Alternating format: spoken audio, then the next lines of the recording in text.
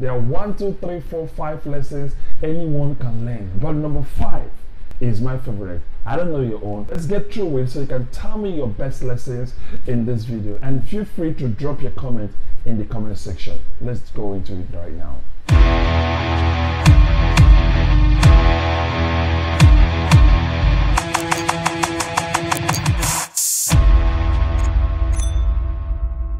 Voila! My name is Gson Ebuka and you're welcome to my channel today.